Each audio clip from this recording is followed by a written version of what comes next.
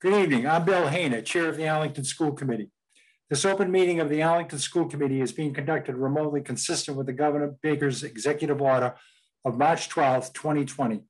Due to the current state of emergency in the Commonwealth due to the outbreak of the COVID-19 virus.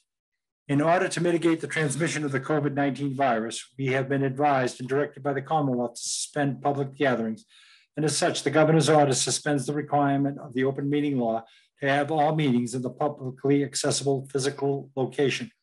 Further, all members of the public bodies are allowed and encouraged to participate remotely.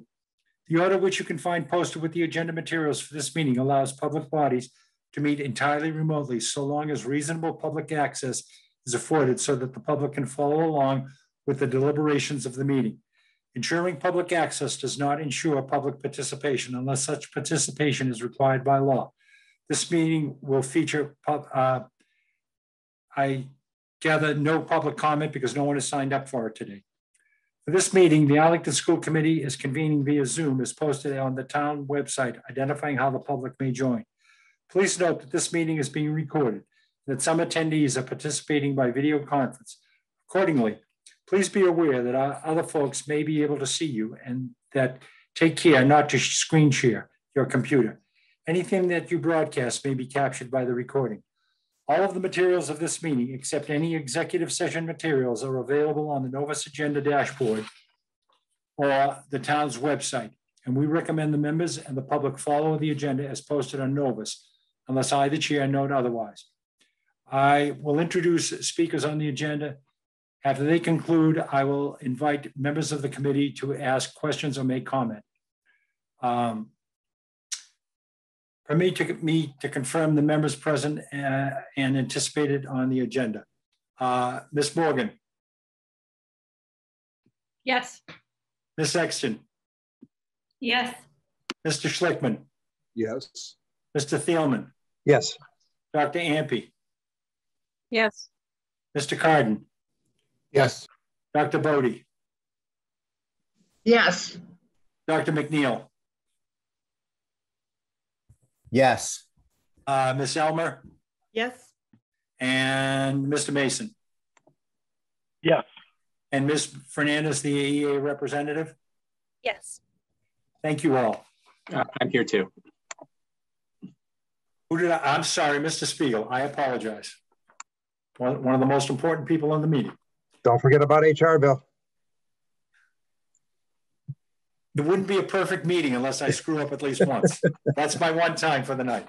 Okay, at this time, uh, I am going to move on to uh, school committee resolution. Mr. Kardon, please. Uh, thank you. So I will uh, make a motion and then I'll read the, the draft resolution. I move that the school committee, the Arlington School Committee adopt the appreciation resolution. Can I get a second? Second. Go right ahead, Mr. Kardon. Thank you. So I'll go ahead and read the uh, proposed resolution. Whereas following the outbreak of the COVID-19 pandemic and the public health emergency that ensued, the educators, administrators, and staff of the Arlington Public Schools faced unprecedented, the unprecedented closure of schools, the shift to online learning, the later shift to hybrid learning, still another shift back to in-person learning, and frequently changing guidance on necessary measures and best practices to ensure the health and safety of, AP, of the APS and greater community. Whereas the educators, administrators, and staff of the Arlington Public Schools have repeatedly risen to the occasion to support our children during a period of unprecedented crisis. Whereas the educators, administrators, and staff of the Arlington Public Schools have demonstrated resilience, responded with care and compassion, and persevered throughout the, through the continued uncertainty. And whereas in recognition of the tireless and continued efforts of the educators, administrators and staff of the Arlington Public Schools to confront the COVID-19 pan pandemic. Now, therefore, be it resolved that the Arlington School Committee expresses its deep appreciation and gratitude to the educators, administrators, and staff of the Arlington Public Schools for all of their tireless efforts during the COVID-19 pandemic. Uh, and I'll just note that um, it's, been a very difficult year for everyone. And uh, I know, um, speaking for myself and my colleagues, that we greatly appreciate the all of the efforts of the uh, the educators, the staff, the administrators, everyone involved with Arlington Public Schools, as well as our students and, and, and, and parents as well. But uh, I did propose this resolution to um, just recognize what a difficult year it's been and, and how great our, our educators, staff, and administrators have been in, in this crisis. Thank you. Thank you, Mr. Kardon, for bringing this forward. Is any of the members uh, wish to make any further comment before I call the vote? Dr. Ampe. I just wanted to thank Mr. Kardon for bringing this forward. It's a great idea. It's it's well, well deserved. I wish there was more we could do. But thank you. Thank you. Okay, uh, let's take it down the list. Uh, Ms. Exton. Yes.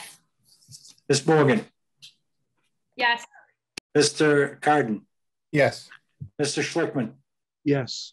Dr. Ampe. Yes. Mr. Thielman. Yes. Myself, aye. It's a unanimous vote. Thank you again, Mr. Kardon, for bringing this forward. And thank you all, staff and everyone. It's been a tough year, and thank you for all the things that you've done. Moving on, uh, the Arlington Public uh, School Librarian update. Dr. MacNeal? Hi, and thank you, uh, Mr. Hayner. So today I have the our certified librarian team uh, here. I'm glad to say it's a team because we are building it and it's no longer a individual. So we have Stacy Kitsis, who is who acts as the lead uh, librarian for the district and has done so for years. And she is the also the certified librarian for the high school and so she can wave. Then we have Dr. Susan Bisson, who's here, who's the director of digital learning, who supervises the certified librarians. And then who else do we have? Do I see Jennifer Lachlan? I don't see her here. Oh, there she is. Jennifer Lachlan. We hired her a couple of years ago. Uh, her first year was actually the pandemic, I believe. And uh, she's been here serving the district um, very dutifully uh, through that time. And then we have our newest member of the team, Liz. Is she here? She is on her way. She's on her way. Okay. So when she gets here, I will uh, introduce her. So can I have? She's in. She's in the uh, attendee list, I think. Okay. So if Liz, if you can hear me, can you raise your hand and then we'll promote you to a panelist. And then can I have screen sharing privileges given to uh, Stacy? They do have a brief uh, slide deck that they would like to. There we go. So Liz, we're waiting for her to come on screen, her video. So there's Liz. She's our newest member.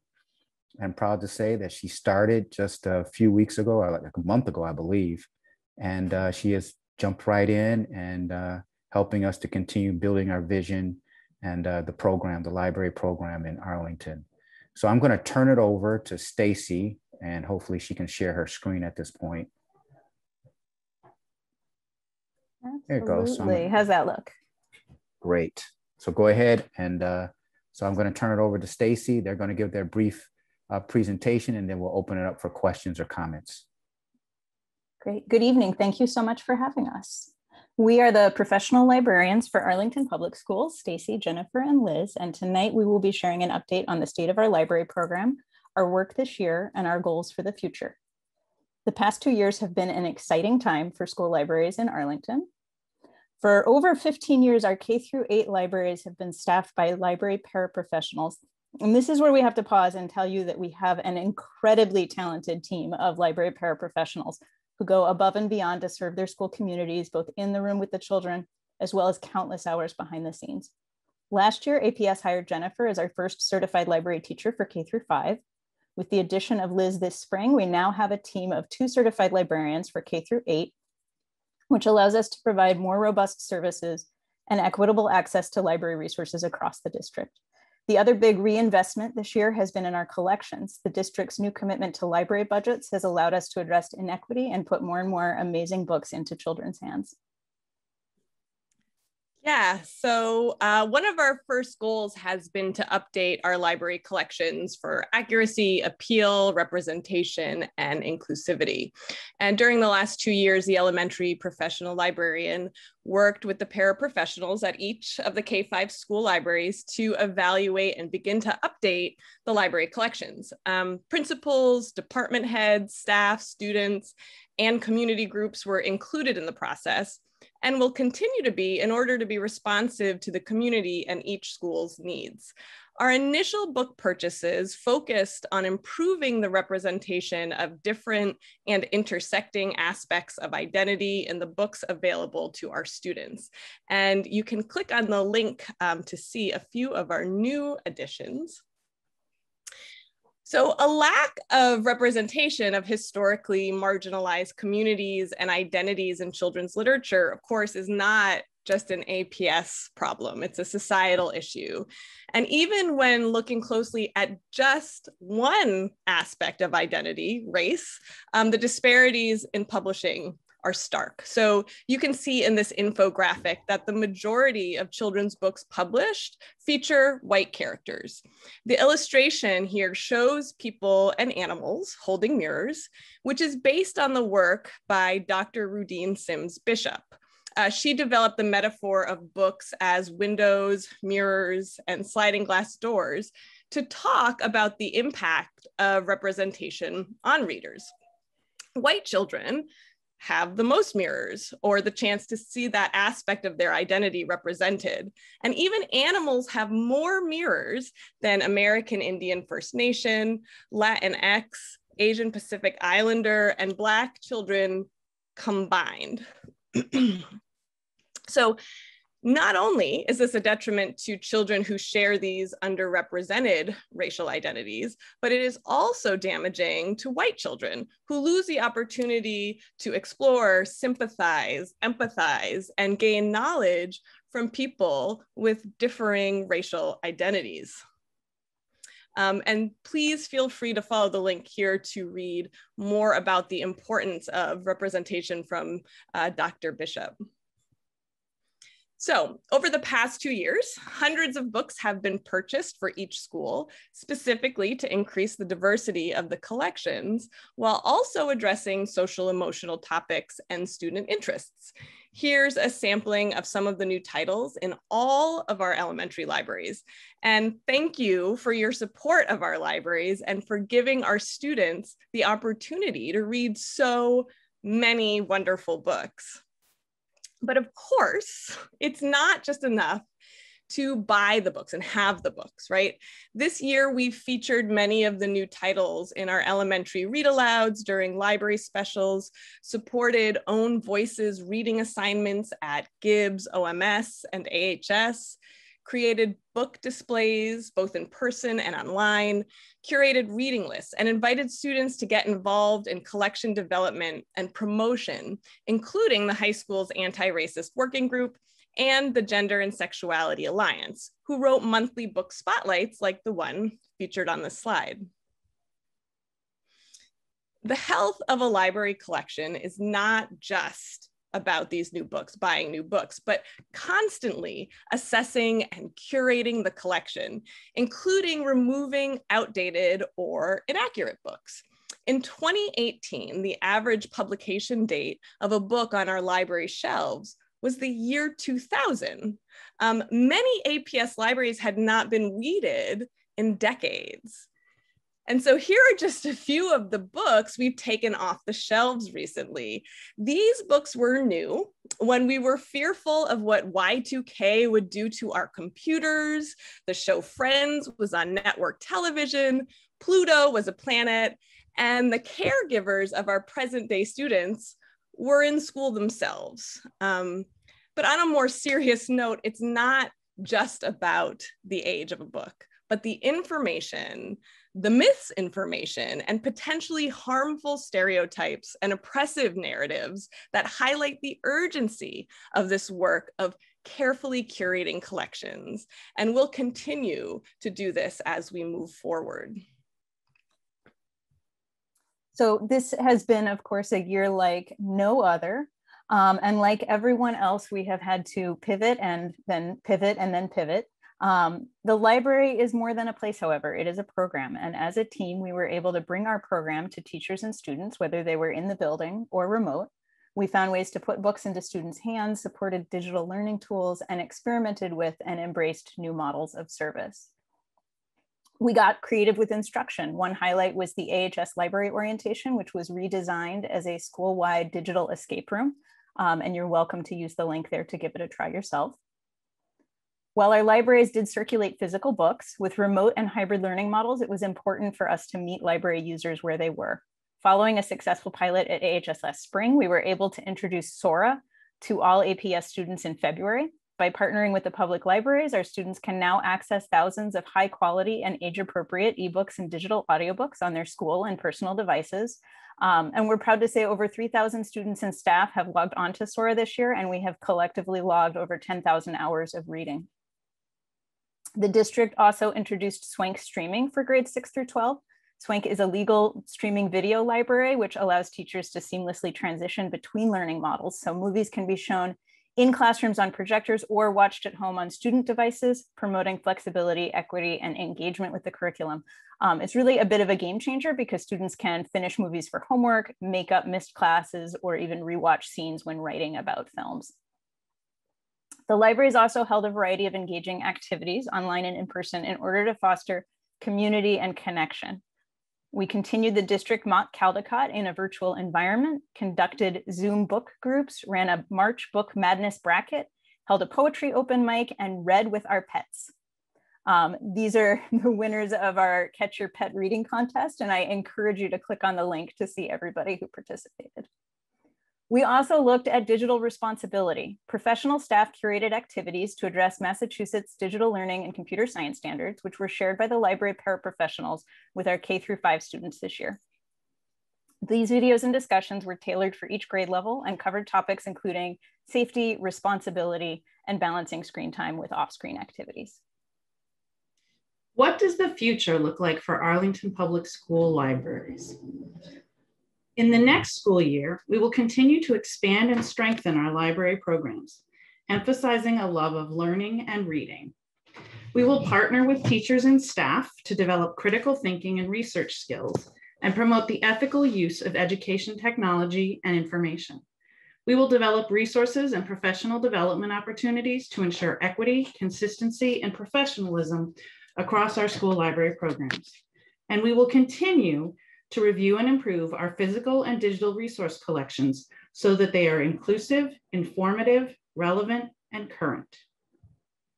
Beyond research and read alouds, school libraries are very unique places in our schools because they are a welcoming space for exploration, curiosity, and autonomy of choice for children during the school day.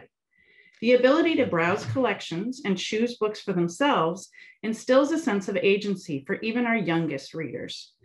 Our libraries will foster a lifelong love of learning and understanding that libraries and books are for everyone. Libraries are also critical in helping people access information.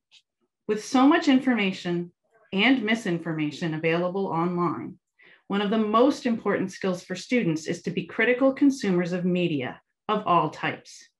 It is important to teach the skills it is important to teach the skills of critical thinking from the earliest ages. This includes the ability to ask probing questions, verify sources, and understand whose perspectives or knowledge are being centered or erased. How do we accomplish these goals? We will create a scope and sequence for research skills and critical thinking. We will lead PD and collaborate to provide direct student instruction. In partnership with community members, we will conduct diversity audits of our library collections to identify strengths and challenges. We will make it easier for the APS community to access our digital resources and professional development materials by creating a district library web presence. With the addition of a second K-8 certified librarian, we can now offer the statewide database collection to all of our students instead of only at the high school. These digital resources, including online encyclopedias, newspapers, and more, provide current and up-to-date information on a vast array of topics from reliable sources. We have already introduced these resources to our fifth graders, and we look forward to expanding to other grades next year. To meet these goals and go further in preparing our students for 21st century success, we need to continue supporting the library program through hiring additional professional staff, supporting our paraprofessional staff, and continuing to invest in print books and digital collections. This support demonstrates a commitment to the value of school libraries in Arlington Public Schools and will help our students have the tools they need to navigate our increasingly complex future. On behalf of the entire library team, thank you for inviting us to join you tonight. We appreciate the opportunity to speak with you as well as your continued support.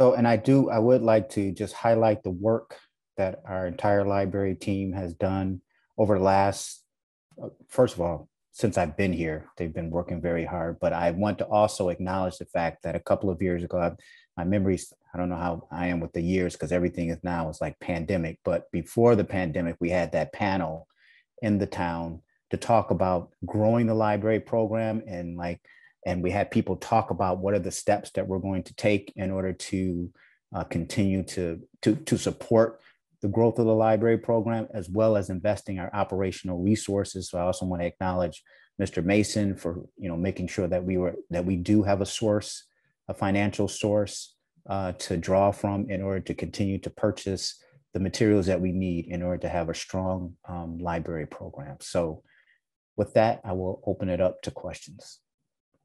Thank you, Dr. MacNeal. Any of the members wish to ask questions or comments? Mr. Kardon. Uh, thank you. Oh, so thank you for all your hard work and um, also for uh, Dr. MacNeal for overseeing this expansion of our, our staffing. Um, just uh, uh one comment, quick comment, is that um, uh, I, I know that some of the PTOs are still fundraising for library books, which is great. We always can use more. Um, but there, I'm always getting questions. Why doesn't Arlington pay for library books? And we do now. We had we didn't for a long time, but we do now. So it would be great if some communication, you know, about this this you know new library program, both the funding of the books and the now we have three. We've tripled the staff. Um, uh, that would be great to to update the community. Thank you.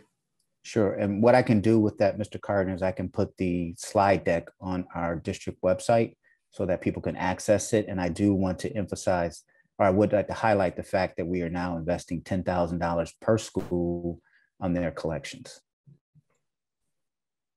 Any other members? Mr. Thielman. Yeah, uh, thank you very much. This is a great presentation. I really appreciated it. Um, you know, I did like that Larry Csonka book when I was a young guy. So I just want everyone to know that I understand you're taking it out, but I, I actually read that book.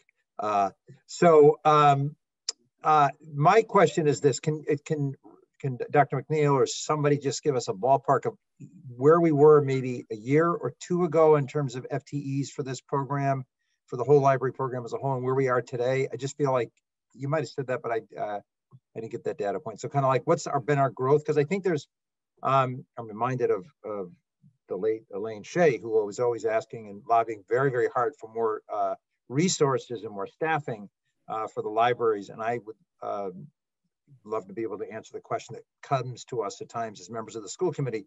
And I want to be able to say, well, we've added X, Y, Z number of FTEs. Do you just like Stacy or anybody have that number? Or, or Dr. Oh, yeah. So over the last two years, we've added 2.0 FTEs to our library staffing. Okay, and then and then the total staffing is is what for the for that department if you include professionals and uh, full time staff? Uh, I don't know the total. Um, it was one one. Uh, Mr. Spiegel can ask. He has his hand raised. There's it's 1.0 per elementary and middle school, and so we added when Gibbs came online, we added a library paraprofessional at Gibbs, um, and then um, there is a library paraprofessional at the high school as well as well as uh, Stacy. And so now three certified library uh, professionals and um, you know one per school. There is not a library paraprofessional at the preschool, um, but um, the so that would be 10, teachers. 10 library paraprofessionals FTEs. So 10.0 plus 3.0 certified librarian. Okay, well, I mean, it, it, this is, I mean, this is all very good news. It's, it's, it's, I'm sure, I'm sure we'd love more staff. Obviously, every department would, uh, but I mean, I think we're moving in the right direction and we all should be very proud of that. And it's, a, I think it's a, it's a kudos to the staff for making this a priority and making it happen and for Stacy's leadership and everyone's leadership. So thank you. Ms. Exton. I just want to say thank you um, to the three of you for coming and presenting on this. It's um, while I'm, while I'm new to the school committee, I've been following for a while, and I feel like librarians come up often, but I've never seen an actual presentation. So it was really nice to hear about all the work that you're doing. Um, I've also heard feedback from the community. They're noticing that you're reading more diverse books and, and talking about windows and mirrors. So um, your work is being noticed in the community as well.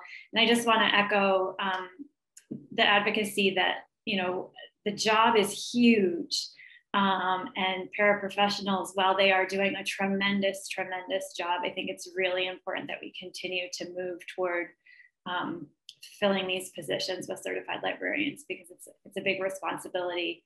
Um, and so the people deserve to be paid, um, you know, professional educator um, wages um, for this job because it's, it's, a, it's a really big responsibility. So thank you all. Ms. Morgan.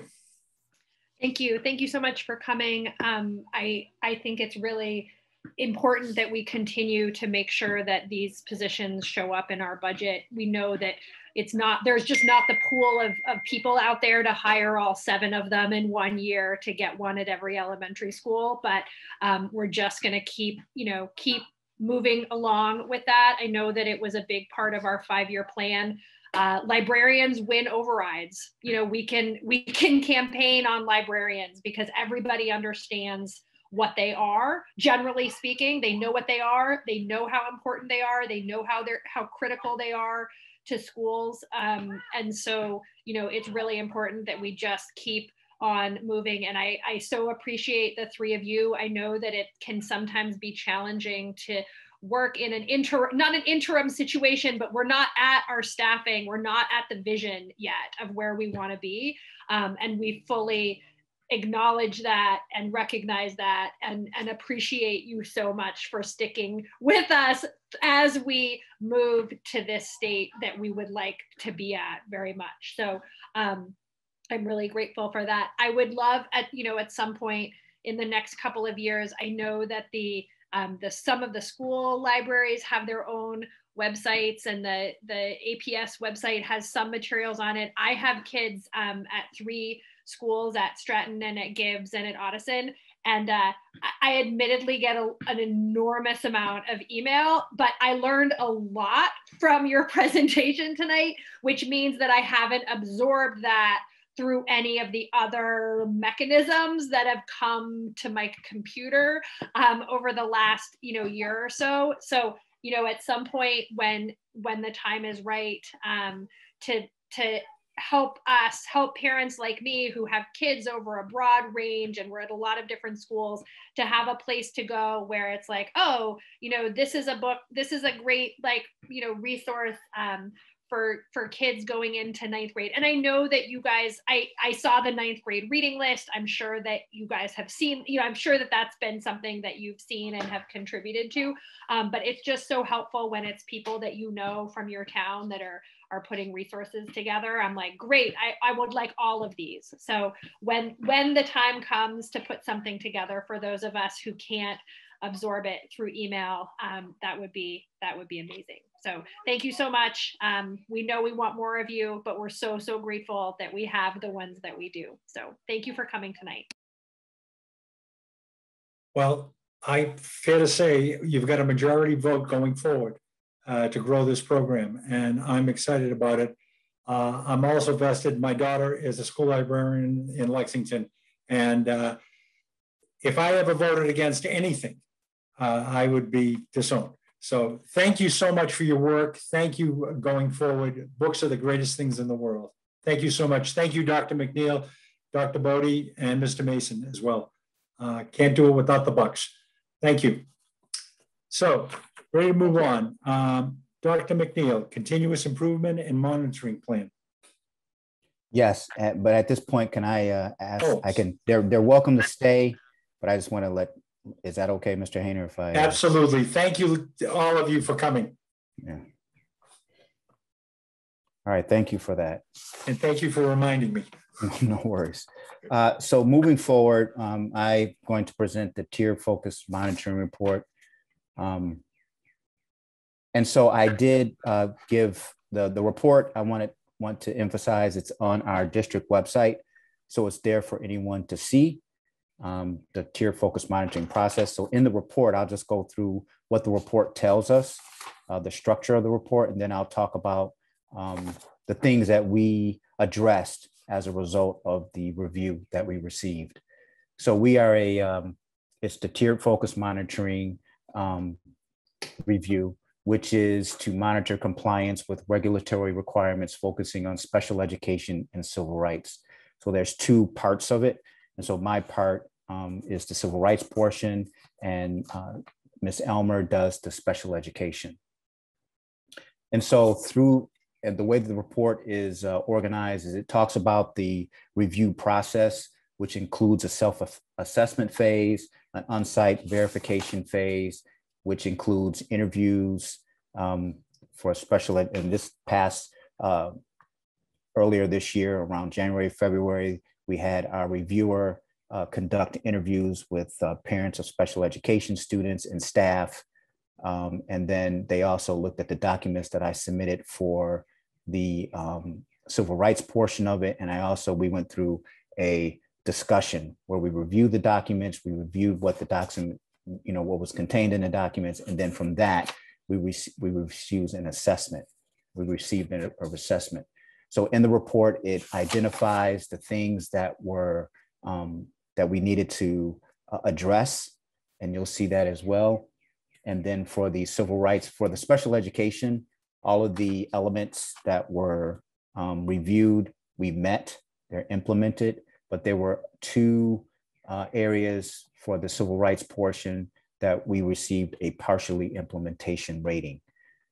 So we had to um, look at those two areas. One had to deal with our student handbooks and the codes of conduct that were contained in the um, student handbooks.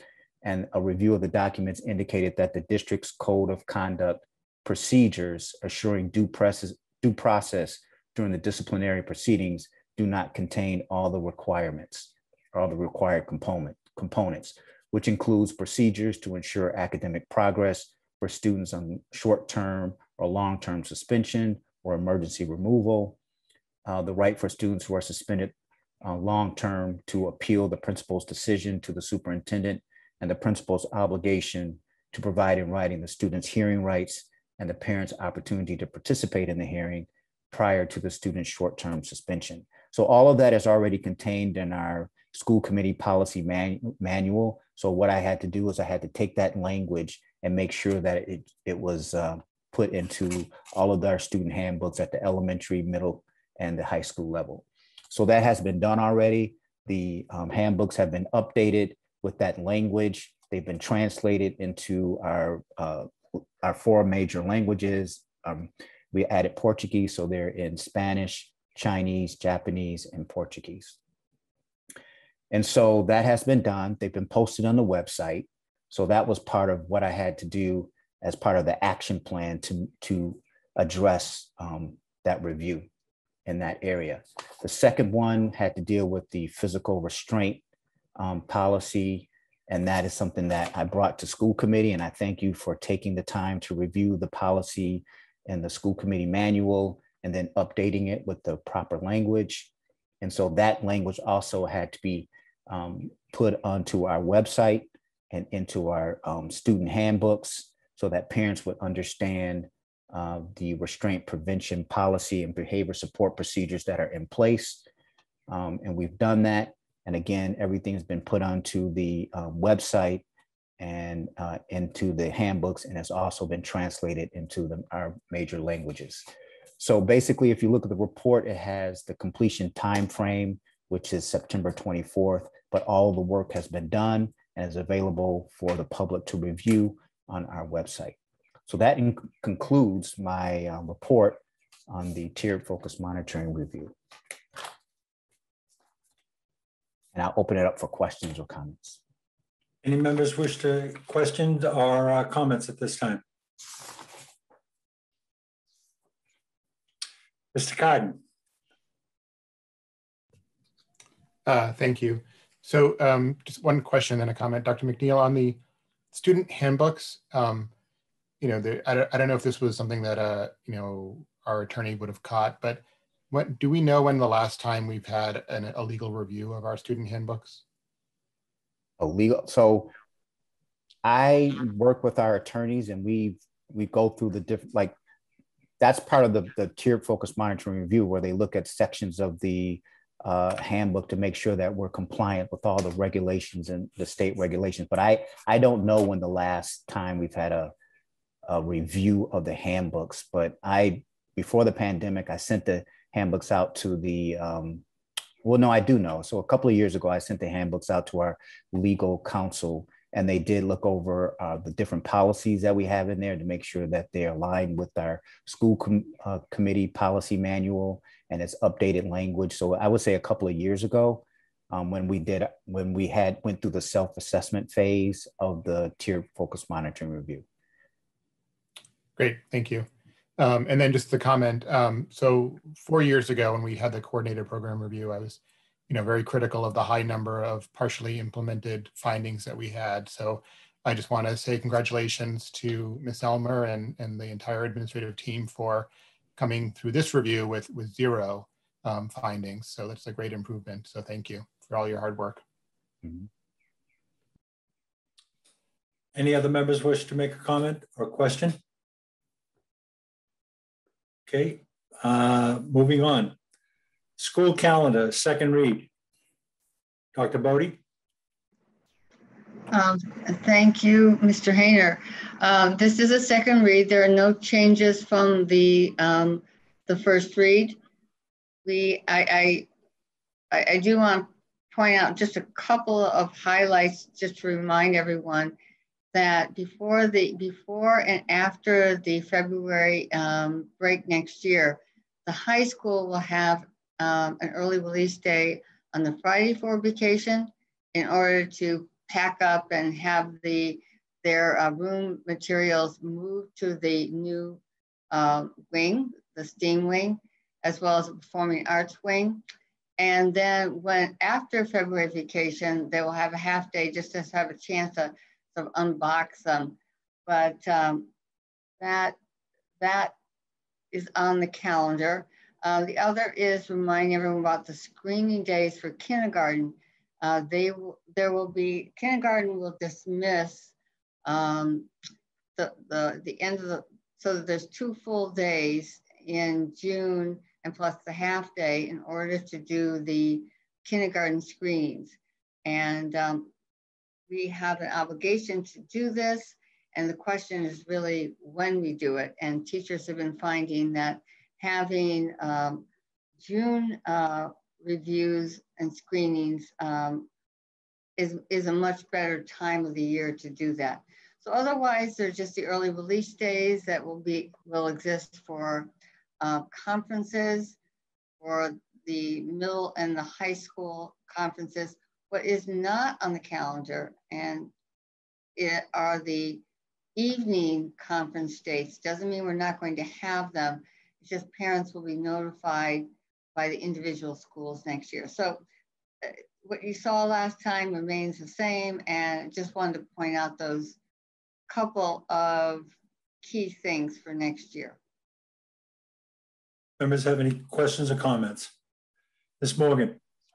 Just my uh, comment to Dr. Bodie that I make every year. I know that um, that obviously the back to school nights aren't on here and we don't know what they're going to look like, but I do hope that every effort will be made to make sure they don't conflict with each other and don't conflict with our um, late September school committee meetings. I think every year I've been on the school committee, I have missed one of my kids' back to school nights. So um, it would be great if that could be something that was taken into consideration next year. So thank you. That's all I have.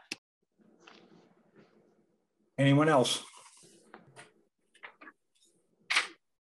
Somebody remind the old man, do we take a vote on this or do we just accept it? We are taking a vote. Uh, I will entertain a motion uh, to accept the uh, Motion to approve. school calendar for 21, 22. Is there a second? Second, Uh, roll call, Ms. Morgan, Yes. Ms. Exton, Yes. Mr. Kardon, Yes. Mr. Schlichtman, Yes. Dr. Ampe, yes, Mr. Thielman.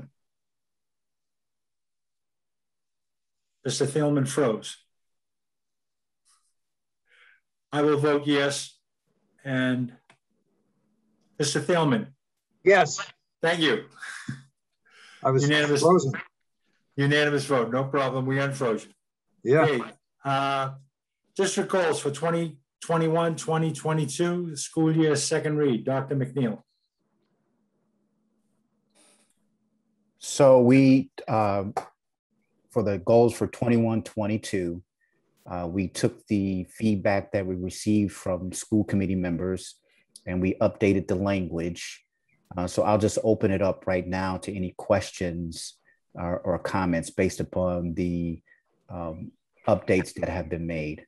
Um, and so we're open to your feedback. Mr. Schlichtman, Has Dr. Homan reviewed these? Uh, I would have to defer to Dr. Bodie. I know we've made them available. We've made, but Dr. Homan, the, the question was, has Dr. Homan had an opportunity to review the changes in the, uh, the goals? um, Dr. Homan is, is listening to, listening this evening. And the question is, has she had an opportunity to review the changes? And the answer is no, but we are meeting tomorrow and we'll go over with, over the district goals with her at that time. Um, I'm a little uncomfortable approving goals at this point on a permanent basis uh, without the person who's going to be charged with implementing them having reviewed them and uh, and at at least coming with an understanding of, of of what she's buying into. So I would like to move uh, tentative approval of the goals uh, pending a review by Dr. Homan. Dr. Bodie? It's perfectly fine if you want to wait until the fall to uh, approve the district goals. I think that as they are in this form, they, they qualify for what our teachers are looking for, which is direction um, about the, the, the direction we're going next year, and so that they can develop their own goals in the fall. The thing that is the case in the district goals that really affect teacher goal making themselves are really in the in the first two uh, goals, and we're not having a substantial change in those goals from this year. Um, there's been a little bit of language change, and I think one of the things I would point out is that we we do mention the vision of student as learner and global citizen that is not a static document. I think that that's something that you know everyone can um, take a look at and see what see how that may want may want to have that change uh, over the next couple of years. But uh, I think that as they are, and I will disseminate them. I can put draft on them to everyone in the district so they can at least see that we really are continuing the work that we've been doing um, going forward. Yeah, I, I don't see us moving far off of them, but there, there's there's an accountability aspect of this, and uh, we may want to sit with her and tweak them at some point. Not a wide movement off of where we're at, and we might improve them just the way they are. But I really think that that there has to be some level of participation of an incoming superintendent when we are going to hold her accountable for progress towards these goals? One of the things that the school committee has not seen, we talked about this the last meeting, that the actions that are part of each one of these goals are going to be worked on over the next couple of months. So you will see um, what the, the, the specific um, efforts are going to be by department next year and by school as well. So if you want to wait on this, there's no reason you have to vote on these this evening. And you can, during your retreats this summer, you can, um, uh, you know, continue to work on them. Okay, thank you, Mr. Chairman. Thank you, uh, Superintendent Bodie. And I, Dr. can I- MacNeal. so I just want to emphasize the point that Dr. Bodie made about using, utilizing the, bo- the goals as a guidepost for the work that we're going to do this summer. Um, a lot of the work that we're going to do is, you know, looking at our equity review and inserting the recommendations and, you know, setting goals for next year to implement those recommendations. Uh, so I just want to, you know, just to say that I echo Dr. Bodie with the overall spirit of the goals will be taken into consideration as we do the work this summer. So are we going to postpone the vote or are we going to, uh, I, I would, I would recommend that we postpone and uh, talk to Dr. Homan during our retreat. Uh, Mr. Thielman and then Dr. Ampe. I won't freeze up this time. I, I would, I'm comfortable, personally comfortable voting to approve the goals with the understanding that over the summer, there will be meet, Dr. Homan will meet with Dr. MacNeal and staff and may make modifications and we'll come back in September and say, I got the goals that you approved in June, on June 10th. I appreciate that. Uh, I've made some modifications. I'd like to approve them. So I, I'm per, myself, I can only speak for myself. I was, I'm perfectly comfortable voting for this unless I understand if most people don't, but I'm comfortable voting to move things along. Dr. Ampe. I'm with Mr. Schlichtman. I feel uncomfortable approving something when I know that there's been changes that Dr. Homan has not had a voice in yet. And I think I don't see much utility in approving them right now. I see this more as a first read. I think we would be able to approve. I think we will probably have at least one regular school committee meeting sometime over the summer and we could approve them then. Um, and uh, I just, it just feels wrong to me to approve something um, that the person who is, as Mr. Schlichtman said, the person who's uh, charged with accomplishing it, how they haven't given us their input. So. Thank you. Uh, Mr. Kardon, did you want to say something? Okay, Ms. Exton.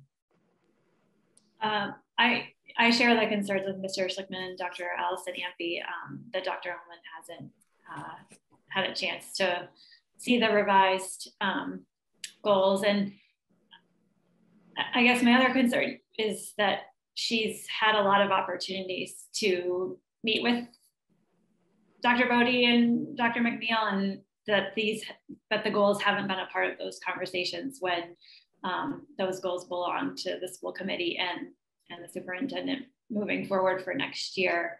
Um, you know, I think it's important that she's a part of that. My my other my my hesitation though is that I don't want to make it difficult for teachers to be able to think about their own goals moving forward. So I guess I'd be in favor of, of a tentative approval just in the sense that I want I want teachers to have an opportunity to work um, on what they need to be doing this summer if they choose to do that um, and not have things change tremendously, um, which I don't think they will, but but I want to be aware of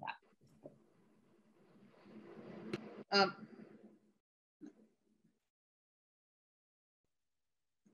You're on mute, Phil.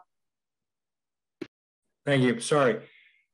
My understanding is that the question that was asked, has Dr. Homan seen the changes since our first read? I just want to make that clear because as far as I know, Dr. Homan has, there have been discussions uh, with regard to the goals going forward. I know I've talked about, talked to her about them. So again, to be clear, it's just the changes since the last meeting. Uh, the uh, brought about by a couple of the members and going forward. may I, Mr. Go right ahead, Dr. Bodie. Okay, thanks. Um, I would say that we definitely, we've been talking about the goals in, in, in many different ways of looking at them, and we will continue to do that. Um, the, the specific language was actually brought up, not the specific language, but the intent of how to modify it was brought up at the school committee last time, and I think it were very valid suggestions about including some language of recognizing the, the, uh, you know, that we are going to be going into next school year on the heels of a pandemic year. And, you know, being mindful both in terms of social emotional learning and as well as academic learning, uh, that impact, which we've talked about many times in this last, um, last couple months. One issue, of course, is, is summer, the summer programming. So there's no substantial change. There are just simply the suggestions that you have made.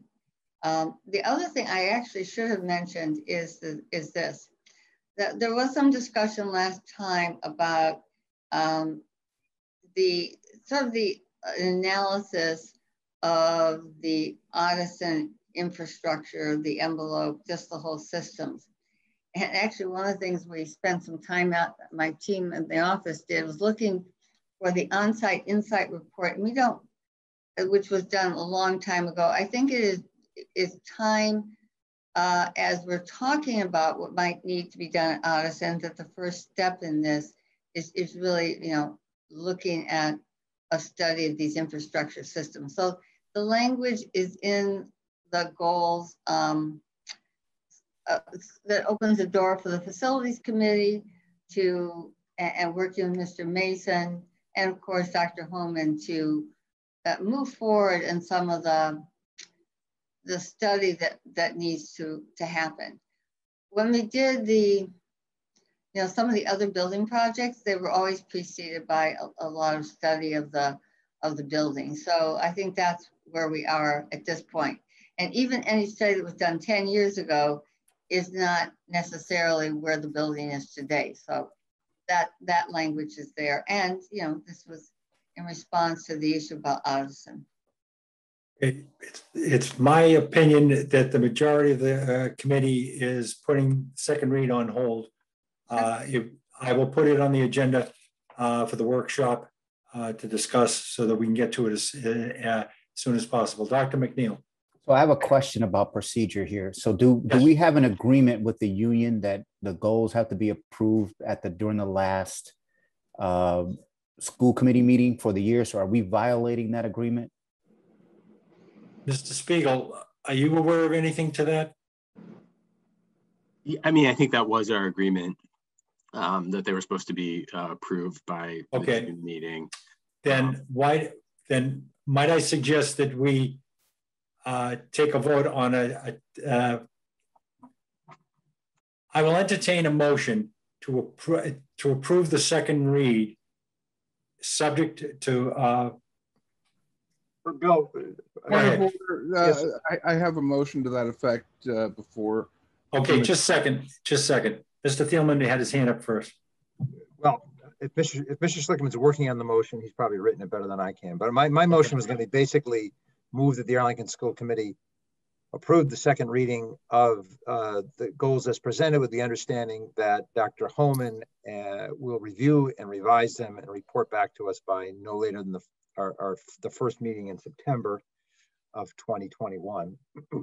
Um, Mr. Schlichtman, is that within what you were going to present?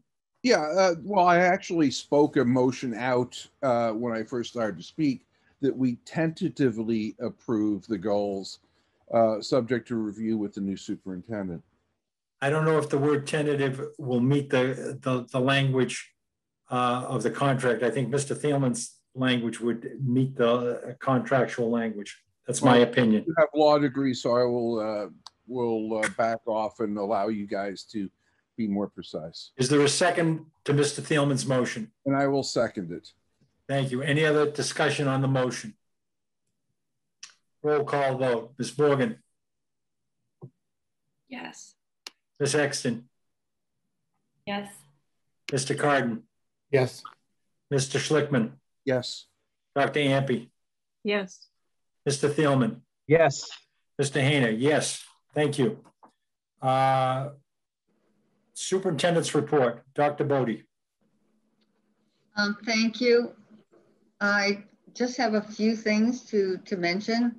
Uh, one, we always talk about the high school, where, where that is going. And uh, we're, the, the project is definitely moving forward. Um, there are still more subcommittee meetings over the next couple of weeks and, and, and we'll be looking at some transition issues as we come into the fall. Uh, some of that is preparing for when after the after we move into the new uh, buildings that um, that we have a, a, transition plan for both moving into it and then the beginning of the tear down of Collomb House.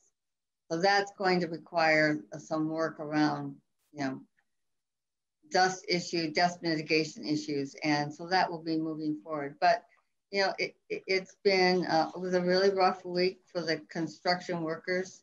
I want to commend them for, you know, their efforts um, this week. It was, uh, it was a, a rough, but, you know, every week that you, you can make progress, it brings us closer to making sure that we are uh, going to be able to meet that February deadline turn over those two wings. Um, the building committee will meet uh, the first, well, actually, I, I, am not, they probably are going to meet the first um, Tuesday in July, unless there's some, someone that, you know, um, there's some change in that. But the plan is that the school committee will, I'm sorry, the building committee will continue to meet the first Tuesday of the month. Um, probably the, one of the more important things I want to say is to, to congratulate our seniors. Um, we had a wonderful graduation that we did not envision that we could have at the beginning of May. We certainly have gone through many iterations. And at the end of the day, we were able to um, pretty much return to the, the same format that we've had in past years and um, it was it was a warm day, but everyone was in wonderful spirits. Um, it was a um, the class um, has so many accomplishments, and uh, that's one of the things that I was I highlighted uh, during the in, in, my part of the presentation. And uh, there's much they have to be proud of in all aspects of their um, experience at Arlington High School.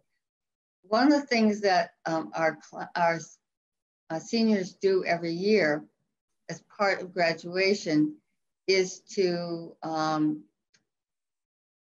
uh, pick out the, not pick out, that's not the right word, to uh, identify at each of the elementary schools who was particularly influential in their, uh, in their um, education. It does not mean that other teachers were not, um, because I think that that's always been something where they have found that sometimes very hard to choose. Um, and they did the same thing this year. Uh, and they, as I said, the, the, students themselves have every every a lot to be proud of, but as as as our teachers and our and our, all of our educators are very proud of them. So we wish them well, and um, I, I will, and the high school will miss them. I, am glad they were have, able to have a, a, regular prom. Well, it wasn't exactly regular, but to have a prom this year and to have a graduation. So thank you to Mr. Hayner for speaking at graduation. He did a great job. He might even want to talk about what he said. All I suggested to them is to remember the child inside them and, and don't grow, don't ever grow up. Uh, imagination comes from the child inside you. That's it. And I want to commend Dr. Bodie. There was a young man that sat next to her that was the most excited, enthusiastic individual. He must have screamed and deafened poor Dr. Bodie uh, for uh, 300 some odd graduates. It was a phenomenal graduation, include, in spite of the heat. It was well done. And I'd like to commend the entire staff for running a, a really great uh, graduation And as far as I know, not one single person uh, got sick from the heat. And that's that that's a testament to the organization that the staff put together. They did. They did a phenomenal job. And they, unlike past years, they had to do multiple iterations as we went through um, the last couple months. So it was. And I will be sending out to all staff the, um, the teachers that were commended at the different levels. And, uh, and I know that they will, um, that will be appreciated by everyone. Last thing is I want to, to mention that Jason Levy, who is a social studies teacher at Ottoson Middle School, um, has just been awarded the Brian, I mean, say this correctly, the Brian uh, Sheffrey Award for National History Day. As you know, every year I bring to you the, the successes of our students in this very important contest that um, competition that happens every year. This year was particularly a challenging year um, with, because of all of the, the interviews with students was done virtually. But Mr. Levy has been doing this for many years and um, he puts in enormous amounts of time um, supporting students, cheering them on, you know, making sure they stick to their timelines.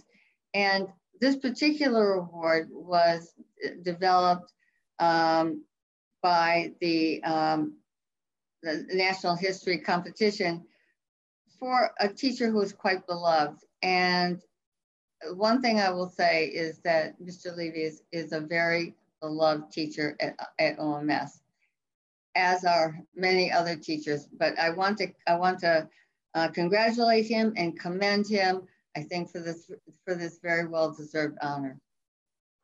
And that is my report, Mr. Hayner. Thank you very much. Um, the next item is uh, on sorry, the agenda. Sorry. Go right ahead. Hayner? Yes. Sorry. sorry. Uh, there, there, were two things that I had emailed about that um, if we can't get a, a, update now, maybe we could get an email update. Um, they were they were both with hiring updates. So I was wondering where we were as far as hiring assistant principals and also with the allocation of the 10 reserve positions, um, where those were go where, where any of those have been assigned so far. If we don't have that update now, then perhaps we could get that by email. Dr. Bodie, Dr. MacNeal, is that something that we can? Uh, yeah, for the AT positions, almost certainly. Um, okay. We, have, we, can get those. We can get those out to the members in the next day or so. Well, we can also tell you what the status of them are right now. Go right ahead then. Well, we have um, three elementary schools that are hiring an AP, and Pierce Elementary has uh, has uh, chosen a, a, an AP, and a hiring letter has gone out to her. The other uh, schools, Brackett and Thompson, are still in their process, and with Miss Salvatore um, becoming the middle school principal at Groton Dunstable, there's also um, the Gibbs, uh, the Gibbs Middle School is still in process for hiring uh, her replacement. And Mr. Kardon, what was the other one? So we had a large number of reserve positions in the budget. We have 10 reserve positions. And we had discussed at budget wanting to get um, an update uh, about where those were going. We don't want to leave all 10 open until August. Do we have any of those assigned yet or are they still open now? No, they're not. Well, the special ones, special education ones have been um, already spoken for in terms of um, what needs the district has. And maybe we may even need um, some other reserve positions for special education. But the moment that, that those have been spoken for in terms of positions. With the 10 reserve positions at the moment, we have three and a half that we know that we are, are going to be hiring. But in addition to that, we've also hired a, an additional support person in technology. So that would be four and a half in terms of, if you're thinking about this in terms of um, monies. so that's where we are at the moment in terms of that. I think that as we see how enrollment changes over the next uh, couple of weeks uh, through through July, you'll have a much better report on where that stands in August. But Okay. we can also update you periodically as well. Yeah, if we could get a list of where those positions, in both Yeah. in special ed and regular ed, where they went, that would be great. Thank you. Sure, we can do that. Uh, Mr. Kardon, I apologize. You asked me in a timely manner and I apologize for not bringing it forward. Oh, you did, you did it. It's fine. Thanks. Okay. Uh, The next part is honoring Ca- Dr. Bodie. Uh, I would like us, uh, if with- there's no uh, objection from the committee, to just each one of us say a little piece first, because uh, Ms. Morgan is going to be addressing the dedication plaque in her part. So I would in- invite uh, Ms. Exton. Sure, thank you. Um, Dr. Bodie, this is an interesting farewell as you and I have never had a meeting in person. and now we here are here to honor your dedication and service to the Arlington Public Schools on the occasion of your retirement. During what is likely the most challenging and unusual year for public, public school educators everywhere, your knowledge, experience, and steady leadership have helped our teachers and students to move through ever changing educational directives and situations feeling supported and capable. With retirement just weeks ahead of you, your commitment and dedication to Arlington schools has not wavered. You continue to focus on programming and infrastructure for the future, supporting curriculum initiatives, and hiring outstanding educators and staff. It is clear from your long and accomplished career in the Arlington Public Schools that you have impacted the lives of countless educators and students. Your tenure in Arlington saw enrollment growth, renovated elementary schools, a new sixth grade school at the Gibbs, the start of a long awaited and much needed new high school building, and the hiring of exceptional teaching staff. The Arlington Public Schools will continue to benefit from your impact here for many years to come. I'm sorry that we will never get to sit in the school committee room at the high school together, but it has been a privilege to join you remotely this year to support the students, families, and teachers of the Arlington Public Schools. Congratulations on your retirement and thank you for your dedication and service to our schools and our town. Thank you. Mr. Kardon. Thank you. Uh, I also want to thank Dr. Bodie for her tireless service to the Arlington Public Schools. Over the last 13 years, Dr. Bodie has been a dedicated leader, putting her all into her role as superintendent, managing the complex day-to-day operations of a rapidly growing school system while maintaining a focus on important long-term initiatives. At the risk of duplicating what some of my colleagues will and also say, uh, will and have also said, I will call out some key achievements of the Bo- from the Bodie years. Upon taking office, Dr. Bodie stabilized a tumultuous system and refocused attention on delivering the best education possible. As the system has grown, Dr. Bodie spent endless hours on redistricting, school enrollment planning, additions at Thompson and Hardy, the renovation and opening of the Gibbs School, and the larger capacity high school building now under construction. Dr. Bodie has worked closely with elected and appointed town officials and committees to ensure the public support of these building projects, as well as the operating overrides needed for the increased funding we need due to our increased enrollment. Over her many years, Dr. Bodie has focused uh, over her many years, Dr. Bodie has also focused on the need for social emotional learning, installing an SEL director and infusing SEL throughout the system. More recently, Dr. Bodie has led a focus on cultural competency and diversity and inclusion, implementing related staff professional development and curriculum updates. Throughout her years, Dr. Bodie has attracted and built an incredibly strong leadership team that will continue to serve APS well long after her retirement. I am grateful for the leadership and diligence that Dr. Bodie has brought to APS, and I wish her well in her retirement. Thank you.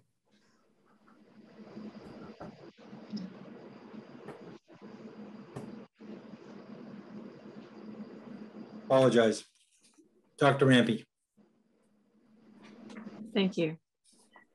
Dr. Bodie, your tenure has completely overlapped my school committee career. So I've had a breadth of, I've had a very good view of the breadth of issues you've had to manage.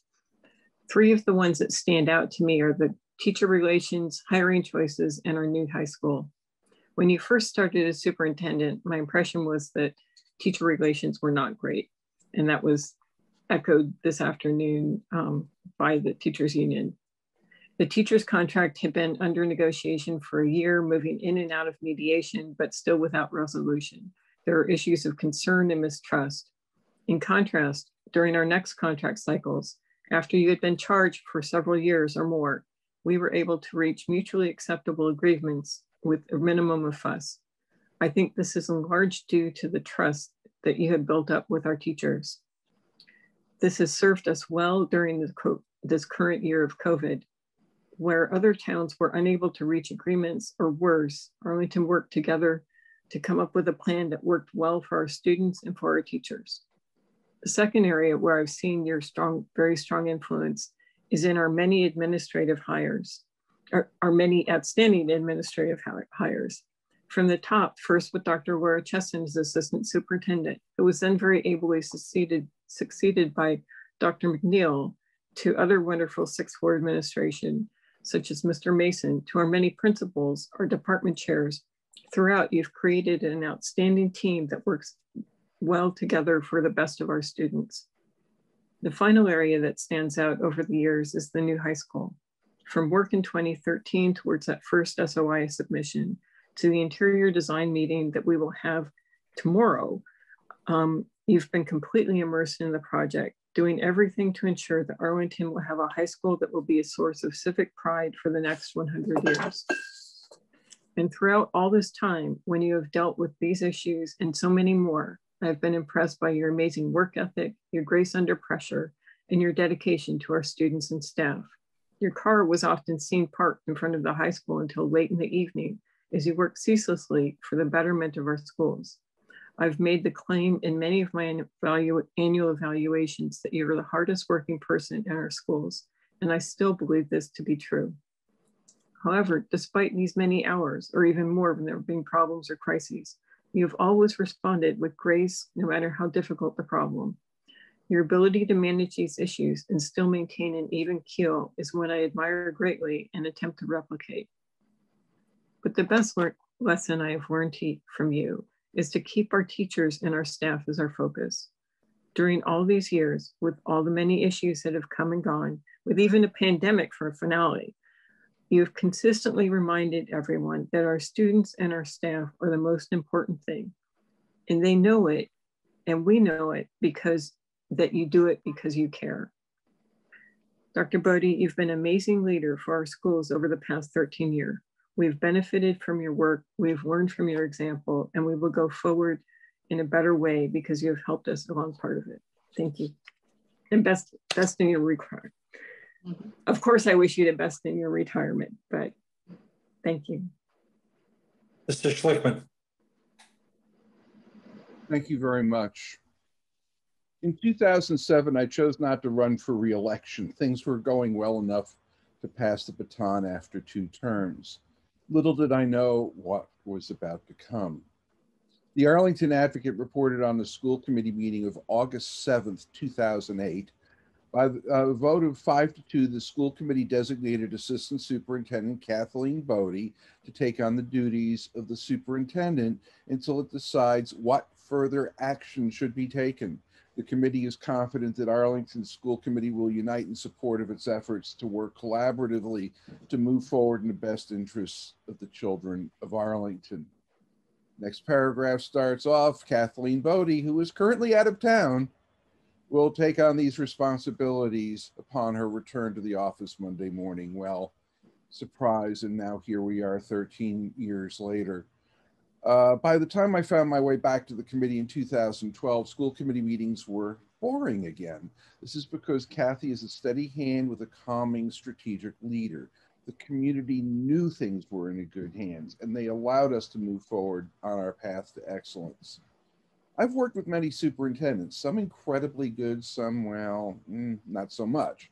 Superintendent Bodie has been exemplary on so many levels, but the most important in my mind is she hires well.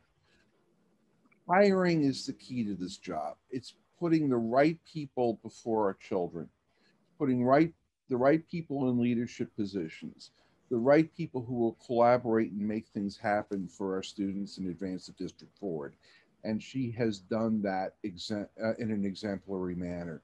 And she cares for the caregivers. What we saw this afternoon at the retirement and honors ceremony was the appreciation of the faculty and the staff for her efforts that she's got taken the time to learn everybody's name, to know everybody, to know everybody's classroom, and to have compassion for the people who are doing this amazing work in Arlington. That will be part of her legacy, along with the buildings in our new high school. Superintendent Bodie is very well respected by superintendents across the Commonwealth, which is made obvious when we go to state conventions. She had built confidence of the community that allowed us to pass debt exclusions and operating overrides. It's been a remarkable run. And taken from me, who retired last year, retirement's a good thing. I hope you enjoy it. And we appreciate you and we hope we see you at many ceremonies going forward as we open our new high school. Thank you, Kathy. Mr. Thielman. Thank you, Bill. Uh, Bill gave me the honor of uh, speaking on behalf of the committee this afternoon at the uh, event uh, that was had that, that we had at the uh, uh, in the courtyard of the high school. It was a wonderful event, and four of us were there: Bill, Kirsi, and Paul. And it was it was just a wonderful event, and it was clear how much affection Kathy's staff have for her and how much affection she has for them. I'm going to read some of what I said at this meeting. Um, at the event today. One of the things I want to uh, uh, point out is that, as I, as I said to the group, Kathy has been uh, involved in, in immersed in, is, uh, in every single detail of the uh, high school building project from 2013 on. And her hand and her eye and her mind uh, are, are represented in every single detail and aspect of that building. And uh, Dr. Homan, the incoming superintendent, has uh, has told us that she will be calling upon Dr. Bodie in the coming weeks uh, and months, and that Kathy will be doing some consulting work for us. So her mind and eye and heart will still be part of that project uh, in the time ahead. Um, and Jane's going to talk a little bit more about the dedication. Uh, it is appropriate, I think, that we dedicate the discourse lab. We have a dedication plaque to the discourse lab to, to Kathy Bodie. Um, Kathy and I have known each other for 18 years. I was on the school committee when the vote was taken to name her superintendent, and I was on the phone with Kathy around that time uh, when we were uh, in the middle of a transition. And so we have known each other, worked closely together on many projects, and had many long conversations. Uh, and there are so many things that have happened uh, over the past 13 years of her superintendency that have had a profound impact on the community, all of which I guess someone has mentioned before. The new Gibbs School the Stratton rebuild, the Hardy uh, expansion, the Thompson uh, building, the Thompson expansion, the high school, of course, and you know, so many other wonderful things beyond the buildings in terms of curriculum innovations, improvements in how we deliver services to kids. Uh, it is a much improved and a much different district than it was. It's important to note that the voters consistently supported our schools because they trusted its leadership and they trusted Kathy Bodie. Kathy's focus has always been on what is best for the students of this community and what is best for her teachers and staff. I told this this afternoon to the group, and I think if there's people watching, I think it's worth repeating. Kathy was raised to value education and service to others. She is the daughter of a doctor who served in the Korean War in a mobile Army surgical hospital and MASH unit, practiced medicine in his community, and served as the director of uh, his county's uh, health department. Kathy's mom, Janet, was a teacher in the Chicago Public Schools, a trustee of a community college, and a longtime advocate for education in Aurora, Illinois. When you understand how Kathy was raised, you understand why serving others is the way she interacts with the world. Over the years, as Kathy, Kathy raised her children, planned their weddings, and welcomed grandchildren, she and I have had conversations all hours of the night and day. Once I texted her that I was free to talk at a certain hour. We got on the phone and I said, Kathy, where are you? And she said, I'm getting ready for my son's rehearsal dinner. Is a true story. He's getting married tomorrow, but I've got 30 minutes. This is a good time to talk. And Kathy gave me 30 minutes and we talked about an issue in the schools. Despite all the things going on in Kathy's life, taking care of her dad when he was in his late 90s, managing family life, or waiting the birth of a grandchild, Kathy Bodie always had time for our kids. Our children and their well being were always on her mind. Over the course of her career in Arlington, you never heard Kathy, a true servant leader, if there ever was one, talk about herself or put herself first. She always talked about how making the school district work was a collective effort. She relished the opportunity to praise her staff, to let her staff shine, to allow her staff to talk about their impressive work. Anytime an administrator or teacher was recognized, as happened tonight, there's my dog. Um, sorry about that. Uh, that was the first thing she mentioned in her regular report to the school committee and to the public. Kathy's legacy will be what people see. A high performing school district, new buildings, and an ever rising enrollment. In fact, the fastest enrollment growth in the region. But Kathy's true legacy is our children, the opportunities they'll have to reach their potential, and the careers she has helped launch here in Arlington and beyond. Serving as superintendent can be a lonely job. At the end of the day, big decisions about people, policies, programs, who to hire and who not to hire fall in your lap. It is impossible to keep everyone happy. I, I, I this has never happened before. So a friend sent me a quote a few years ago from Michelle Goodrich's book, Ina, the Tempter's Snare. The quote is, don't ever give up, don't ever give in, don't ever stop trying, don't ever sell out. And if you find yourself succumbing to one of the above for a brief moment, pick yourself up, brush yourself off, whisper a prayer, and start where you left off. But never, ever give up. Kathy Bodie never gave up on her children. She never gave up on her staff, and she never gave up on Arlington. Because of Kathy, we are a better people. Our district is in a better place, and our kids have brighter futures. So, Kathy, thank you for all you have done, all you have given to our town. Congratulations on your retirement, and we wish you the very best in the next chapter of your extraordinary life. Thank you, Jeff. Uh, this group is a tough act to follow. So I want you to all think about Kathy Bodie standing next to me. I don't know exactly how tall Kathy is, but I'm six foot five. I weigh over 240 pounds. If someone were to look at the two of us, it would be quickly, they'd make the assumption right away I'm the bigger guy, I'm the stronger guy, I'm the tougher guy. Not true. Anyone that's a superintendent, and more so, and I've seen it with Kathy, you got to be a heck of a lot tougher than me. And she is. When you have to, to make a decision of whether to have school or not because of snow, you know right from the beginning you are not going to please everybody and you are going to get a lot of phone calls. Some of us get the phone calls too, but we're fortunate. We've always been able to say, not our call, it's the superintendent. We shift that blame right to her. The one thing you've heard tonight over and over again, and you will continue to hear, Kathy Bodie, number one thing are the students and the teachers. They come first every single time going across the board. She and I have not always seen eye to eye, but we've been able to talk to each other. And I hope we've developed a friendship. Uh, like my wife, petite usually is much stronger than big. And that is Kathy. She is one big, strong person. We have one thing in common, Kathy and I. We will in a couple of weeks. We're both retired. Don't get caught in the trap I have, Kathy. I volunteer for too much. Enjoy it. At least take five, six months. The upside of retirement is when you get up in the morning, you can turn around and roll over you don't have to go to work. Okay.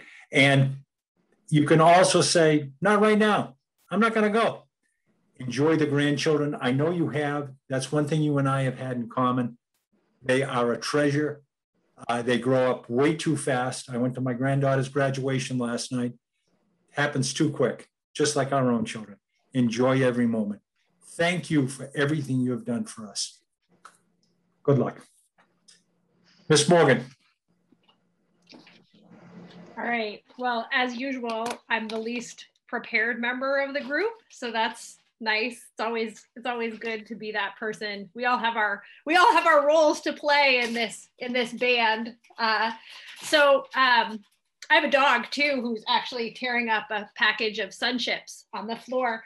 Um, funny story that actually we told our kids because sometimes I've talked to Kathy on the phone and my kids have overheard it and you know the schools have been giving out food like lunches and we've been picking them up. And at one point I think in a fit of sort of exasperation in the fall my kids were like you know where's all where are all these good snacks coming from mom? You know you don't buy us this stuff. And I was like oh yeah you know the person I talked to on the phone Kathy? Kathy she she brings you those snacks. So anyway we call them the the Kathy Bodie snacks at our house. Um so I think you know there um, there was a time a few years ago, and it was the the night that the the vote came in on the high school building, and it was I, I actually had forgotten the date, and I looked it up earlier today. It was June 11th, so three years ago tomorrow, and uh, I was sitting on the floor at the I think it's the Elks, the the building by the Boys and Girls Club, and uh, and it was it was late, and it was it was very clear that that you know the vote on the high school was going to be overwhelmingly positive from the community. And and it had been a long day and and kathy came over to me and I, I, was i think i was actually sitting on the floor for some reason and and she looked down at me and she said gosh jane you know thank you. Thank you so much. And i don't remember what i responded with. It was probably something snarky like oh i'm so damn glad this is over. That was awful. Um, but but she was just so so gracious and so humble at a time when the the schools had received just this extraordinary vote of confidence from the community. Um, and at the time, I, I'm sure that I didn't say anything nice or gracious to her. Um, so I can say it tonight. You know, Kathy, thank you. Uh, thank you so much for everything that you've done.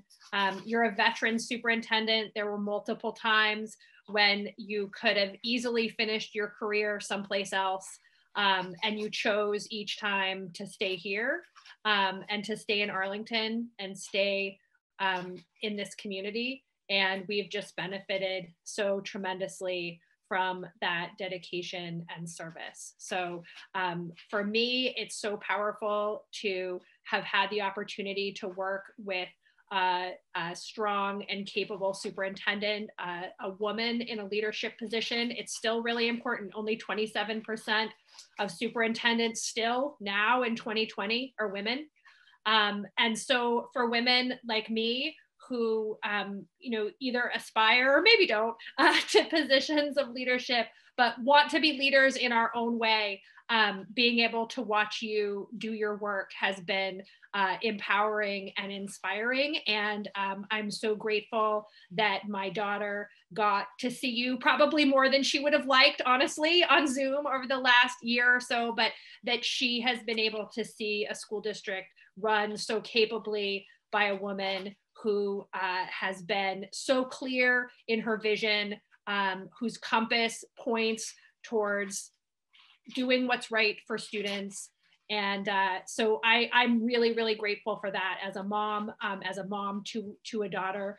Uh, that's, uh, you know, that has been really meaningful and powerful to me. So there are two things that I have been charged uh, by Mr. Hayner uh, to do this evening. The first is I, I believe that uh, either earlier today or yesterday, Ms. Fitzgerald organized um, for a chair to be delivered to Dr. Bodie's uh, residence in Winchester. Um, and so I wanted to share a picture of that with the committee so that you guys can see that. Let's see. Um, let's try this one. They need to let you share. Oh, yeah, I think you've got to let me share. Sorry, guys. Um, Karen. As as we're setting that up, I will say that I in looking at the pictures, I did uh, uh, grant access. Would like to record this computer screen. That's fine. Um, that uh, I did email uh, Ms. Fitzgerald and I said, gosh, what is the picture that's even? We lost your audio. Oh, wait, here we're back. Can you hear me now? Yep. All right.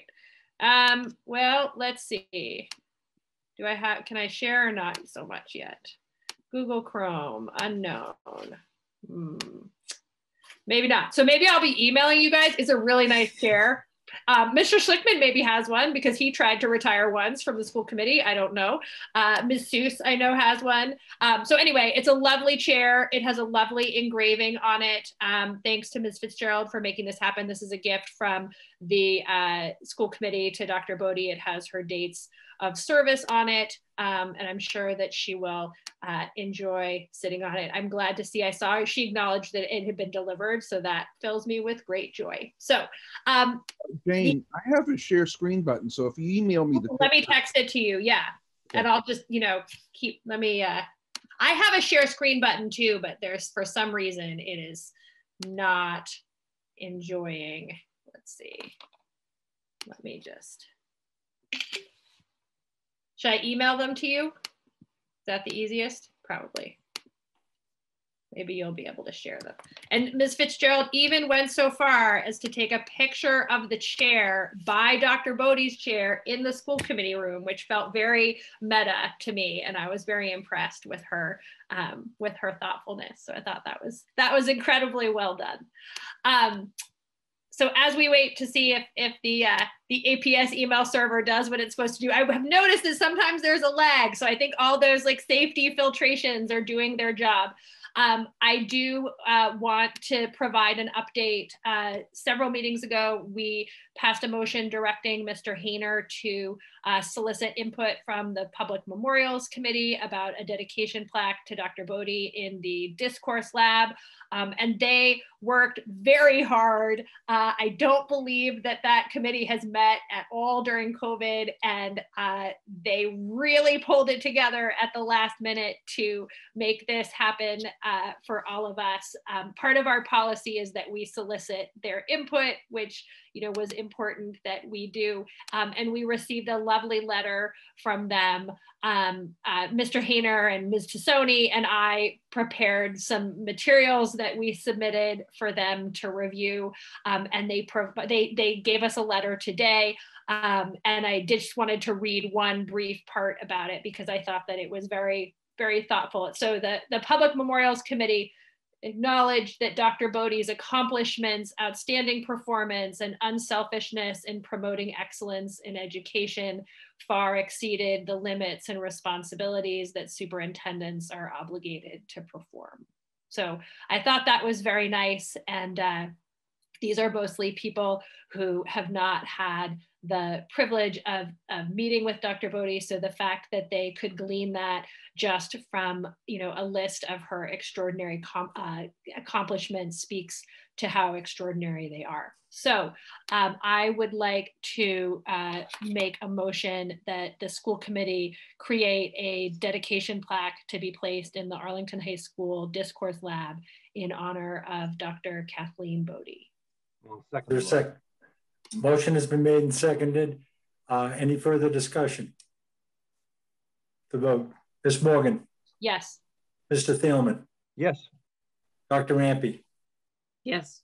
Mr. Schlichtman.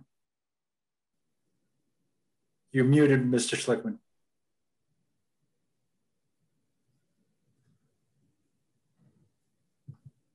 I'll come back to you. Mr. Kardon. Yes. Ms. Exton. Yes. Mr. Schlichtman, give me a thumbs up. There you go. I, uh, yeah, let me see. I've got I've got the pictures up, so I just okay. Just say yes right now for this motion. Yes for this motion right now. And I say yes, so the motion is passed. So if you get the picture up, you want to yeah. try? Let's see if uh, are you seeing anything come up? Nope. Oh. Okay, here we go. Let's try this. You see the preview? Nope. Um, well, this is. You're getting a great picture at home, but the rest of us aren't. Yeah. Why don't we have Miss Morgan email a picture? She can send it to all of us that way. We'll all see it. The most important part is Dr. Bodie got the chair. Oh, wait a minute. There we go. That's great. Very nice. That's very nice. Mm -hmm. Thank you, Mr. Awesome. Schlichtman. It is a rocker, correct? Ms. Morgan, it's a, a rocking chair? So I've been told. Okay. Yeah, I believe it's a rocking chair. So Kathy, don't fall off your rocker. Bad joke, I'm sorry. Oh, God.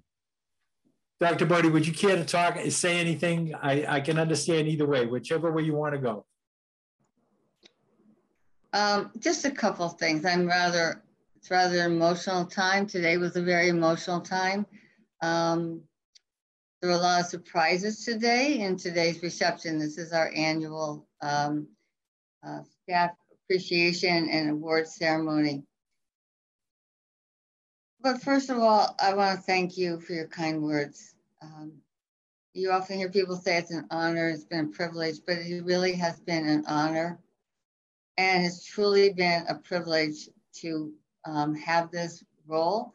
And actually, I felt like that even when I started in Arlington. Um, a very strong emotional commitment to the success of our students and to the well-being and success of our teachers. Um, I, I'm very moved by your very kind words. Um, I have been one of those fortunate people, and I think many of you here tonight probably share this, where I have really um, loved my work um, as an educator. And I've been doing this a long time. I, uh, many years. We're into decades of teaching and doing this, uh, doing um, service in other kinds of ways as well. But it really has been very special. Um, I cannot tell you how highly I think of the staff, and I'm so glad that you commended them tonight because the Arlington educators, administrators, and staff just stepped up in such an amazing way this year. And it was hard. We began the year with a lot of fear, as I said this afternoon, a lot of worries, and also what was the remote learning going to look like for those that, that uh, volunteered to do that. And it was all hard, but they are an amazing group and they helped each other, supported each other. I, I, I, I love the story when the vaccinations became available, people were running around helping each other. And that typifies how they operate in our schools every day.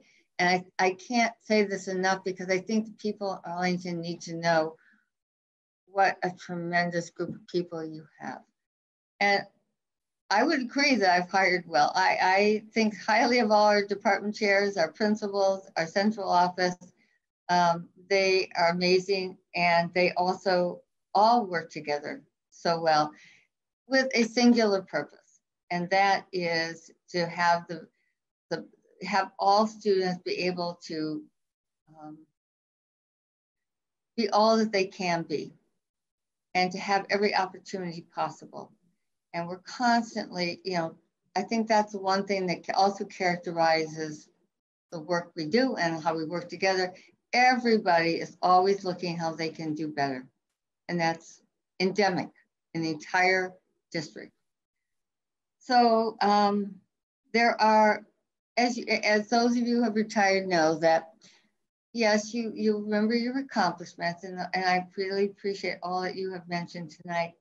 But we also just remember all those special relationships and the people you work with. It's all about the people, it's about the relationships.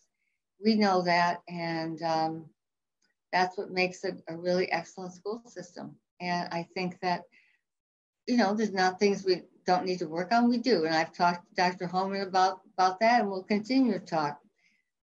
But the thing is, it, we, we every year we create a better base and a better we keep moving forward. And we and I know I trust that that will continue to happen. Thank you for this opportunity. Um, I've learned a lot.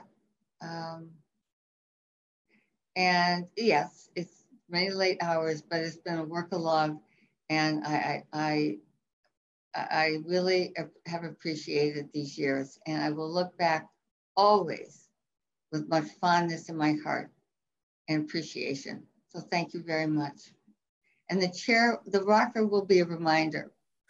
I will tell you a funny, a little bit of funny story. I came home last night. I actually am part of a book group. We had a book group meeting last night and it was late. And so I come in and see this big box and, you know, just inside the door, but close to the dining room. And my husband wasn't home yet either. So this morning I said, what's that big box in the dining room? And I didn't know, I, I had no idea it was coming. I had no idea. That, so I appreciate it. And, I, and every time I rock in it, I will always think of all of you and think of our wonderful school system. So thank you very much. Thank you, Dr. Bodie. Thank you, members. Moving on, consent agenda. All items listed with an asterisk are considered to be routine and will be enacted by one motion. There will be no separate discussion of these items unless a member of the committee so requests, in which event the item will be considered in its normal sequence. Approval of warrant, warrant number 21268 dated June 1st, 2021. Total amount $850,244.60. Approval of minutes, school committee regular minutes, May 27th, 2021. Is there a motion to approve? So move. Second. Is there a second? Uh, roll call, Mr. Thielman, Yes. Dr. Ampe, Yes. Mr. Schlichtman, Yes. Mr. Kardon, Yes. Ms. Exton, Yes. Ms. Morgan, Yes. myself. Yes, unanimous vote. Subcommittee liaison uh, reports and announcements. Budget, Dr. Ampe. Um, I think budget's going to try and see if we can work out a meeting date uh, next week just to talk about how the end of the school year is working out financially. Um, that's all. Thanks. Uh, community relations, Ms. Exton. Uh, we met last Thursday uh, to discuss returning to in-person meetings. Um, uh, Dan Sheehan, the interim director of IT, and Jeff Monroe from ACMI um, are working on ordering uh, equipment. Well, I guess Dan is working on ordering the equipment um, to make it possible to have hybrid meetings. Um, we did vote to recommend that the policy subcommittee um, revise our public participation policy to permit remote participation. Um, and then we also um, voted to recommend to the full committee that we return to primarily in-person meetings starting on July 1st, 2021. So I don't know, do we need to vote on that as a full committee? I think right now the state is expecting it until we get, there is legislation in the process to allow remote to continue, but it has not uh, gone forward as yet. So I think the expectation is that we will be. Okay, something happened or later this afternoon, but I guess. Oh, okay. okay. Uh, I will I will check with uh, uh, Doug Heim, Town Counsel, uh, on that, and I, either way, I will get back to the full committee and to the superintendent's office as well. Okay, and then sorry, the other piece to the um, community relations was we discussed chats for the fall and have a a, a less rigorous schedule for next year that we'll sh share in September. All set? Curriculum instruction, assessment, and accountability, Mr. Kardon. Uh, thanks. We have a um, new position that was created in the regarding data management or data analysis um, that will review at some point. Um, uh, so we'll have to have a brief meeting likely. If we're, if we're allowed to do remote meetings, we'll have a brief meeting to review that um, uh, once we get permission to do that again. Uh, also, while I have the floor, uh, as a liaison report, um, the Arlington Education Foundation had its last meeting of the year. Uh, Julia Schilling, who is the president, is uh, her term is over. she's leaving the board. She's been on for six years, did a great job over the past year. They had a, uh, not quite a, well, the year isn't over yet, but a, a very, very good fundraising year. Um, people, I think, uh, with the STARS appreciation program have been sending in um, buying certificates for teacher appreciation, um, and the community has been generous this year. So that's great news. The new president is Judy Geyer. Um, I believe she's a bishop parent, uh, and um, she has a likely a two-year term as president. So they've got a strong team there. Thank you. Thank you. Facilities, Mr. Thielman. Yeah, uh, thank you, Mr. Hayner. We um, have not met, obviously. I, the goals have been approved. I'm thinking that we just kind of try to have a meeting some point this summer to regroup and get a sense of where we're at. That's kind of my thinking. I don't know. Unless, I don't think we're going to be able to get a meeting in before the end of the year. Thank you. Policies and procedure, Mr. Schlichtman. Well, looks like we uh, have a task put forth before us by the uh, uh, Community Relations Committee. I think we need to take a look at what the legislation will allow us to do going forward uh, before we have a meeting. But as soon as we get a sense of what the ground rules are going to be, uh, Ms. Exton, Dr. Allison Ampe, and I will have to meet and uh, look at the policies that relate to remote participation. Thank you. Arlington High School Building Committee, Mr. Thielman. I mean, Dr. Bodie gave the report. I, I did want to remind the public that Dr. Bodie will still be involved in the project. Dr. Homan has indicated she'll be consulting with Kathy uh, going forward about different uh, issues uh, that impact the building. So that is very good news. And we're grateful for Kathy's uh, willingness to help. We meet on July 6th. We have a meeting scheduled on July 6th. I believe right now that's going to be by Zoom, but we're waiting for clarification. Uh, any other li liaison reports at this time? Ms. Exton. Um, uh, there was a CPAC meeting on Tuesday evening and um, Dr. Homan joined the meeting to introduce herself to the community and, and answer questions from family. Any others? Ms. Uh, Morgan. I just had an announcement. I guess I'm the uh, as appointed by Mr. Hayner. I'm the liaison to the hiring of the uh, school committee slash superintendent uh, administrative assistant. I uh, spoke with Mr. Spiegel about it today um, and will, uh, I, I in, in good leadership forum, I asked Mr. Hayner about the role we would play in that hire, and he said, "Super, you are it because you asked, it's you." Um, and that's what good leaders do. When people chirp about things, they make them they make them do the work. So anyway, here I am. Uh, Mr. Spiegel was great today, um, and. Uh, you can choose, the members of the committee can choose to be well represented by me or not. Um, and if you'd like to chirp about it, uh, you can let me know before Monday. So anyway, uh, we are making progress on interviews for that. And uh, congratulations to Ms. Fitzgerald on uh, whoa, taking uh, the position of assistant to the superintendent. So that's all I have. I just want to tell other members of the committee, don't hesitate to bring something up like this. I will volunteer Ms. Morgan for whatever has to be done in the future. So feel free to bring it up. Are there any other announcements from other members at this time? I would like to say one more time how appreciative we, the committee, are of the superintendent, administrative staff at the top, all the way down every single member of the Arlington school community for what they have done this year. They have made an impossible task work. And thank you all. And thank you, parents, as well, in supporting it. Any future agenda items at this time? The chair will be communicating with the members uh, about, there are two tentative dates at right now, the second and fourth week in August. I realize there are conflicts for summer vacation. We needed to stop, put them on the calendar. They're not locked in stone as yet. We will be, uh, right now, we, and there will be more information coming forward on the school committee workshop uh, for July 24th going forward. Okay, executive session to conduct strategy sessions in preparation for negotiations with union and or non-union personnel on negotiations with union and or non-union in which if held in an open meeting may have a detrimental effect. To conduct strategies with respect to collective bargaining litigation which if held in an open meeting may have a detrimental effect. To discuss and approve the AFL-CIO State Council 93 Local 680 School Bus Operators Contract. Uh, I, we will be coming out of executive session to take a vote. Uh, I will entertain a motion to go into executive session.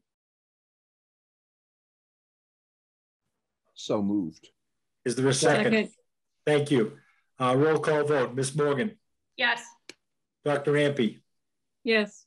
Mr. Schlichtman, Yes. Mr. Thielman, Yes. Mr. Kardon, Yes.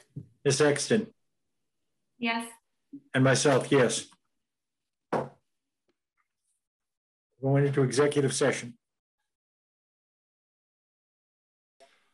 Uh, I will entertain a motion to uh, pass the, uh, let me get the correct language.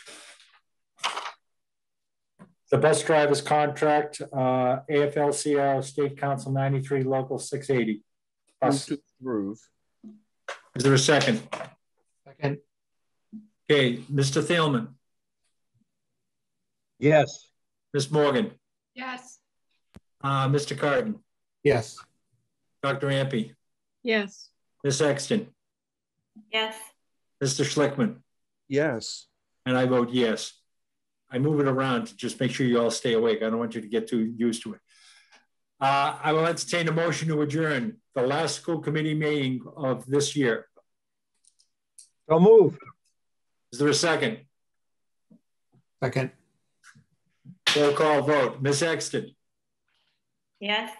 Mr. Kardon, Yes. Ms. Morgan, Yes. Mr. Thielman, Yes. Mr. Schlichtman, Yes. Dr. Ampe, Yes. Mr. Hayner, yes. Thank you all. Everyone have a good evening and we'll be talking. See you soon. Bye now. Okay. Bye.